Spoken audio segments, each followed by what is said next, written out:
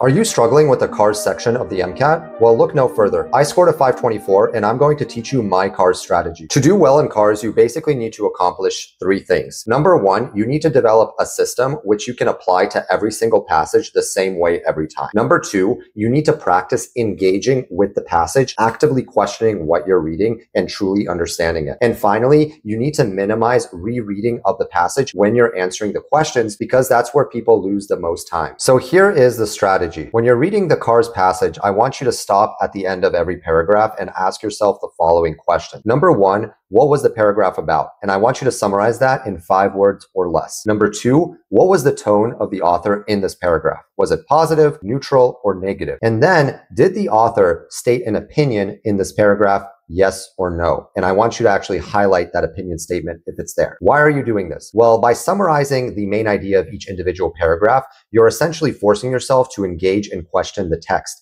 And you're creating a roadmap or summary of the entire passage, which can be used to find the main idea and answer questions.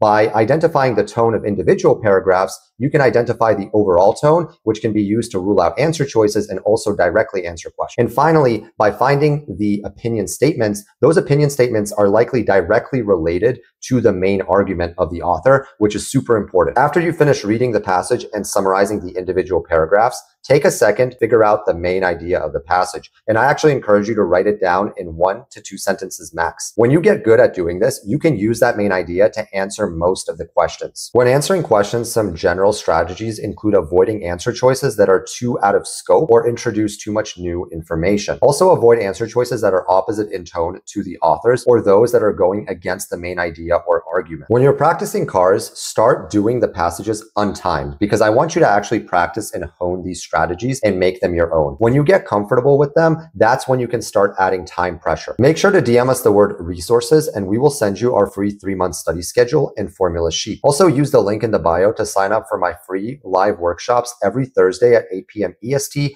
5 p.m. PST, where I go through double AMC passages, including CARS, and talk about test taking strategy. I hope to see you there.